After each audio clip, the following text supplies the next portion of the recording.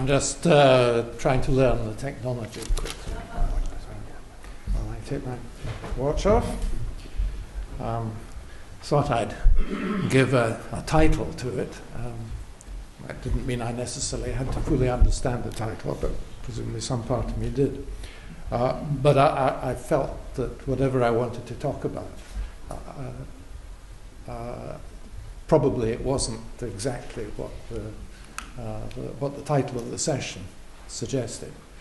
So I uh, really congratulate the organisers, and, uh, of whom I'm not actually one, on this conference.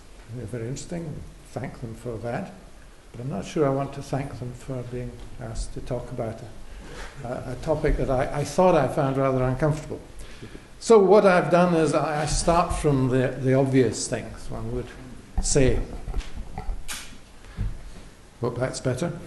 Start from the, the obvious things that one would say about mathematics and economics and uh, try to get uh, more and more into the examples of uh, what mathematics is in, in economics, uh, trying to be as relevant to the, the things that we are thinking about today as possible. I'm afraid it's therefore perhaps a little bit backward looking, which is partly because I think that uh, economics had uh, done a lot long ago, which uh, was really very relevant to understanding our current troubles, which uh, somehow got neglected. So I tend to be more backward looking in these things than, than most people.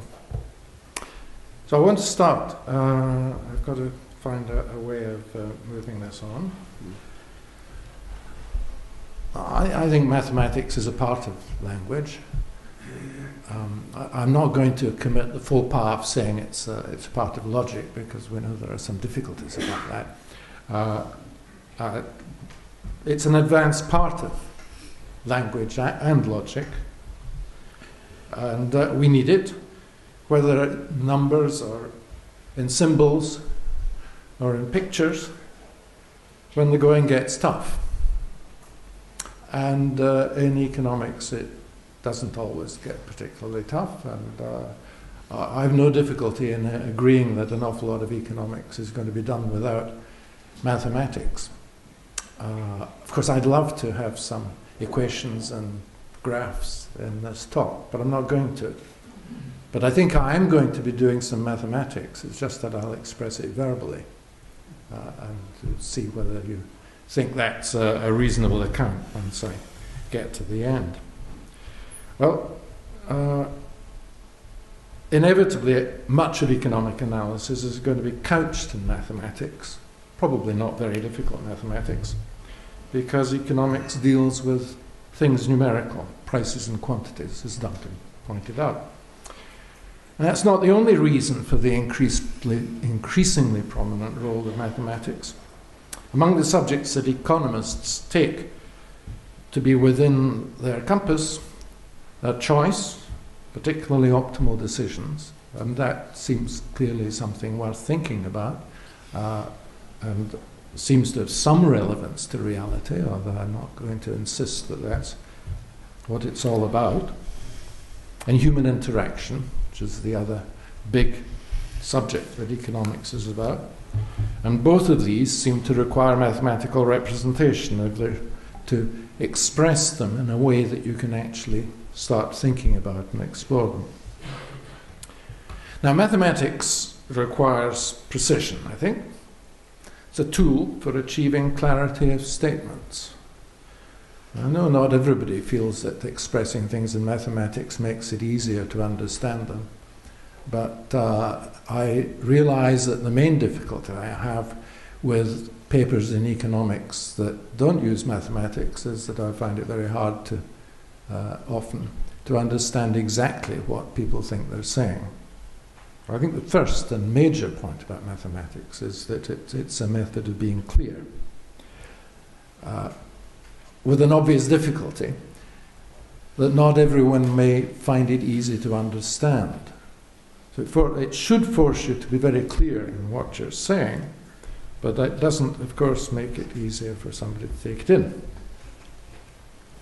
And mathematics is supposed to establish logically correct arguments. I think that's right too, that mathematics is a way of getting your arguments right. And that doesn't mean that people who use mathematics always get their arguments right or relevant. It aspires to establish true statements, and having the right aspirations is a very important part of what we do in any subject or in any area. Uh, that, that's why I like to hear people say economics is a science, because I think that suggests aspirations. It doesn't mean that it's a successful science, but uh, it's the right direction to be going. Similarly with mathematics. Mathematics expresses its assumptions with precision, and that invites a disciplined assessment of the truth of the deductions that you make, and of the relevance and the validity. The use of mathematics also encourages us to explore the implications of assumptions that are quite poor approximations to reality, perhaps are totally imaginary. People talk about toy models, and they do because we have a lot of them in economics. Mathematical models are some of our most useful laboratory animals. Study of the prisoner's dilemma helps our understanding of actual situations that bore little resemblance to that simple model. Models of bargaining and negotiation show the role of mathematics in developing concepts. So it's not just a business of, of, of writing down assumptions and uh, calculating, it's a tool for conceptual developments. A Nash bargaining solution may be thought of as new words, but it's more than that. It's a major step in understanding how people can interact. Once we've learned a simple two person version, we can get on to analyze bargaining possibilities in real settings. Once we've studied the Nash bargaining solution, we should be better placed to start discussing how countries could reach some kind of agreement on dealing with global warming. Many of the concepts that play a leading role in economics are provided by mathematics, you see. Indeed, interestingly enough, they were supplied quite often by mathematicians. So they may be part of economics, it doesn't mean economists did it. As a major example of that, I nominate probability, a tool that allows us to describe uncertainty. Humans, perhaps especially those in the economic or financial professions, have a great deal of trouble dealing with uncertainty. The world is suffering some of the consequences. Having a language to describe uncertainty did not and cannot solve all these problems, but it is an essential start. Ignorance or incomprehension of what's already established economics, I think, made a large contribution to the severity of the recent recession. And I intend to illustrate that thesis with some examples. Mathematics can be quite hard to use, difficult to understand. The problems we have to deal with are actually sometimes quite difficult. What are the likely consequences of having competitive markets for collateralized debt obligations? That needs to be translated into a precise mathematical question which can then, to an extent, be answered. And the answer can be explained without mathematics, although most people seem to have some difficulty in understanding it when you put it into words. One could approach these issues by other means, of course. The alternative to mathematical formulation and reasoning would be analogical reasoning, I suppose, looking for historical parallels or similar contracts you think are well understood. I actually haven't seen any success there. An example would be uh, this is an unfair example actually, but there's a widespread claim that people should not take insurance, for example, buy certain kinds of swaps, unless they have an insurable interest. Taking insurance is entering a contract with uncertain consequences. So, does that principle imply that people should not buy shares. Well, of course, it had better not, because uh, we can immediately see the disadvantages of that doctrine. There's an interesting set of issues here, all about incentives. Reasoning by analogy will not sort it out. You have to understand the logic of the situation, and that usually requires mathematics or something very like it.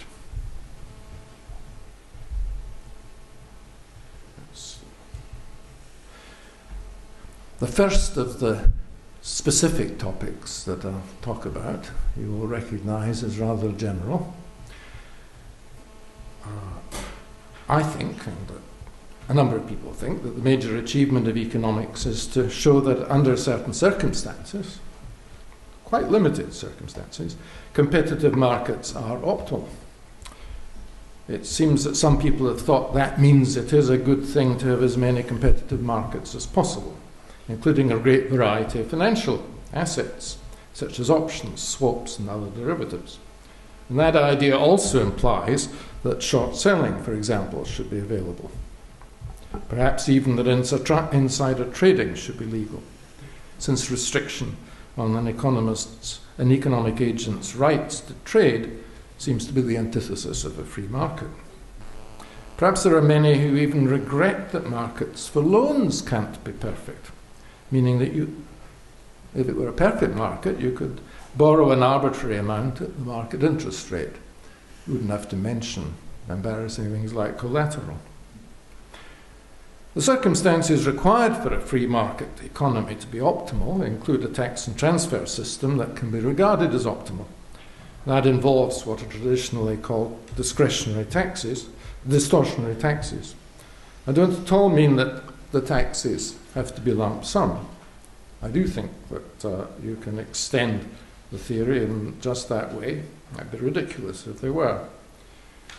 But it can be disputed whether it's proper to assume that taxes are optimal. But it would not usually make sense to urge market regulation on a government on the grounds that its tax system is wrong, instead of putting arguments that the tax system itself ought to be put right. Our current disquiet with people's belief in free markets, actually, I think, has a quite different basis. Another assumption that's required if competitive markets are to be optimal is that there'll be no moral hazard. There is moral hazard if some person's actions have uncertain consequences, which will be observable, although the actions themselves are not observable. A businessman presumably spends most of his time thinking and doing things that are not directly observable. When the project he has selected, after unobservable thought, operates, there will be observable consequences, profit and loss. We can invent assets, such as shares in the businessman's profits, which seem to be just what the free market ideal requires. But such an asset provides the businessman with perfect insurance meaning that he has no financial incentive to think about projects to good purpose. That's a simple indication of the mathematical argument developed long ago that in this case, where there is moral hazard, it is not optimal to have a perfect market. The mathematical economics of general equilibrium says that there should not be competitive markets for assets subject to moral hazard. The textbooks should have emphasized the point much more than they do, but if you say what is standard and received and established economic doctrine, that is it. Evidently, this is an argument that applies widely. There are plenty of markets that presumably do not suffer from the moral hazard problem, but in finance, most markets probably do. It's a major issue. It's probably widely believed by people who know about moral hazard, even by economists, that the answer to the problem is insurance contracts. Well, it's fine to provide the businessman with some insurance against loss, but it should not be full insurance. The right amount, it is hoped, would be determined by a single lender, a single insurance company, for example, what AIG should have been doing, uh, imposing the condition that no other similar insurance contract on the same risk be set up. But the correct theory shows that may not be so. Purchase and sale of other commodities may influence the businessman's unobservable thought processes. Perhaps management education though the disastrous innovations of the finance industry suggest the opposite.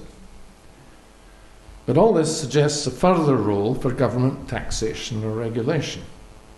It may even be possible to influence his efforts by direct regulation, and indeed, there's a lot of that kind of regulation in the real world.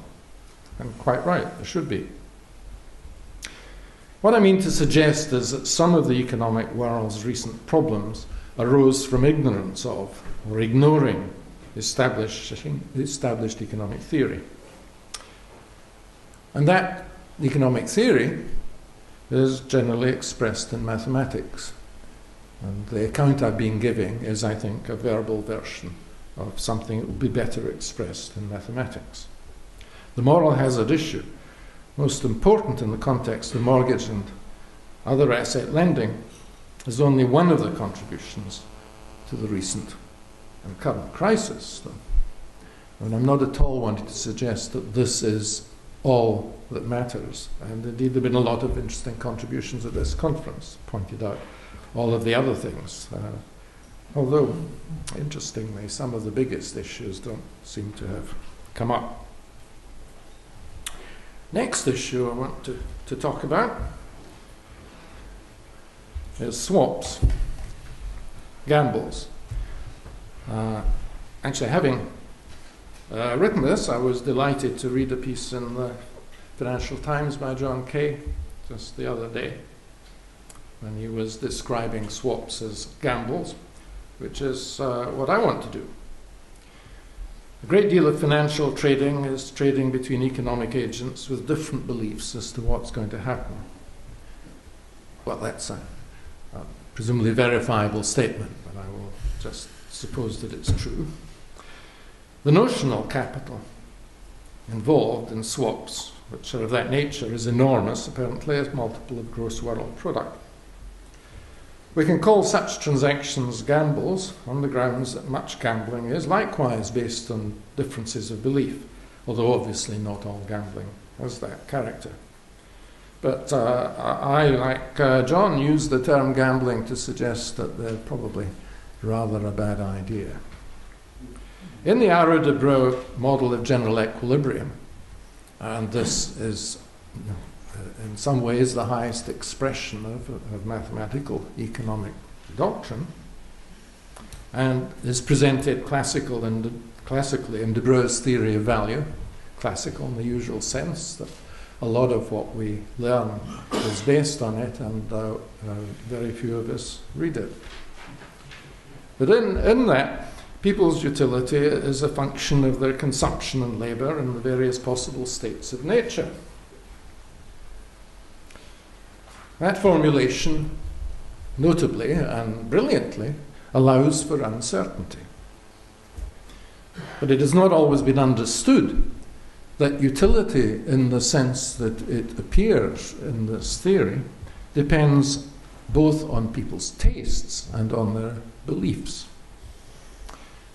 That dependence can be made explicit if uh, you reduce utility to expected utility and imagine that the people in this world of general equilibrium are expected utility maximizers. And we know a lot of that is typical of models. But then different people can have different subjective probability distributions describing their beliefs about the state of the world, as well as different utility functions, which is different tastes. Of course, we know that expected utility does not describe most people's preferences or behavior very well. Uh, perhaps it should. I, would certainly like to argue that proposition. But I, am not prepared to say that expected utility is a, is a good, empirically established account of people's behavior. Uh, and that looks like one of the merits of the Arrow-Debreu model, that it doesn't depend on that particular formulation. Now, in the Arrow-Debreu model, there are markets for all state conditional goods and services. A number of important assumptions are made, which lead to the result that competitive equilibrium exists. And under weaker assumptions, and when there are no externalities, Any competitive equilibrium would be Pareto efficient, meaning, uh, you remember, sim- simultaneous improvement of everyone's utility is not possible. Under distinctly stronger but still useful assumptions, any Pareto efficient allocation, frequently called an optimum, although I don't like to, can be realized as an equilibrium. That sounds like a case for universal free markets. And here we have the leading case of how mathematics can seriously mislead us. Because it seems to me, at least, that it's not reasonable to want to make a person's utility, in the Arrow-Debreu sense, as large as possible. If someone believes that smoking cannot hurt her, and is nevertheless hurt as a result of smoking, even killed, in many possible states of the world, then we should not measure her well being by her own utility assessment. Seems to me ridiculous to do so. And that's exactly what you are doing if you take utility, say expected utility, using the probabilities that people believe in as their uh, as a description of their well-being. In the financial case, the, these are real issues. You see, it's not just a matter of uh, mathematical doctrine. Uh, in the financial case with swaps and other gambles based, for example, on insolvency risk, the effects of trade based and divergent beliefs is, I should think, to increase risk in the economy. That's a bit vague, but uh, we're aware of large losses being sustained and large gains on the other side of the transaction, which could not have happened if the parties had had the same beliefs, expressible by the same probability distribution. We should expect high leverage where really there should have been none creating increased default risk for other transactions. I take it that is what should be meant by systemic risk. Now, it's not at all clear what it would be best to do about the problem. Turning away from mathematics is not the answer. Where would that take us? It must be acknowledged that mathematics can mislead us in exactly the same way that ordinary language can mislead us. That's what's going on here. It's not properly understanding the of what's in the discourse. No, should, no one should think it is, can be, or ought to be easy to appreciate all mathematical propositions. It just has to be done right.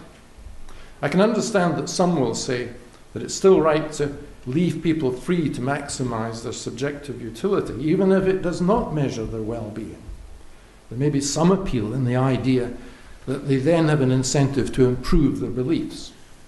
This is the doctrine that there ought to be competitive equilibrium, even if it isn't optimal, which is what I think that really the, uh, the, the, the, the standard conservative position is.